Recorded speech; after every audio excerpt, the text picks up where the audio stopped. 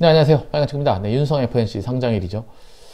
네, 공모가 49,000원에 네, 시가가 90% 정도 결정될 듯 보여지고 6개월 한매 청구권이 있으니까 좀 지켜봐도 되겠지만은 네, 그닥이죠. 네.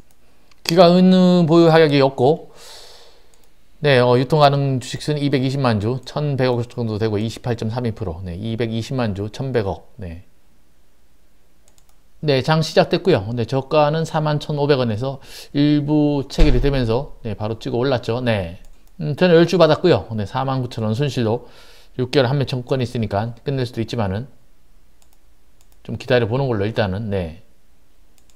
일단 시가 위로 좀 올라왔고요. 네, 45,000원, 45,400원까지 어, 다시 눌리네요. 네.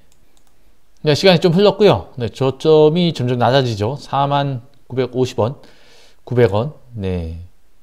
또 이거 한 또 6개월 들고 있어야 되네요. 아, 되게 귀찮은데. 네. 10주 받았고요. 네, 49만 원이니까, 네, 수수료는 없었고요. 네, 49,000원, 네, 손실이 나는 거죠. 뭐, 손실이 확정된 건 아닌데, 뭐, 네.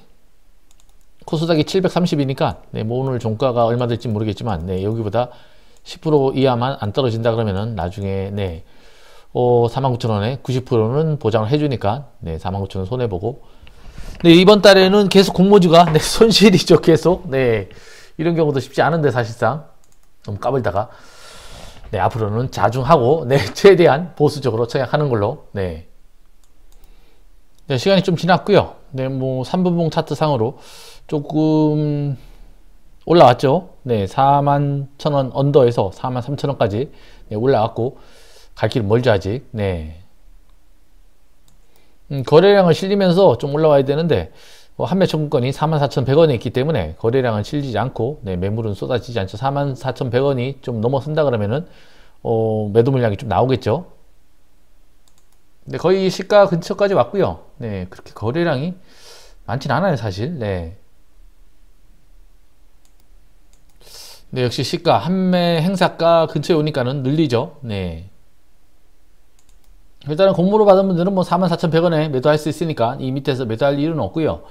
어, 저 같은 경우에는 한 45,000원 정도의 매도를 걸어놓고 네 기다려 봐야겠죠. 뭐 매도 안 된다 그러면 어쩔 수 없고 당분간 기다려야 되고요. 점점 더 그 수요 예측이 안 좋거나 경쟁력이 안 좋은 종목들에 대해서 더더욱 보수적으로 네, 청약을 해야 되는 음, 그렇게 봐야 될 것 같고 뭐 이번 주 다음 주 스펙이 있는데 스펙 청약은 건너뛰는 걸로 해야 할 듯하고 네, 영상은 여기서 마무리하고요. 네, 영상이 도움이 되든 안 되든 네, 구독과 좋아요 부탁드리고요. 네, 고맙습니다.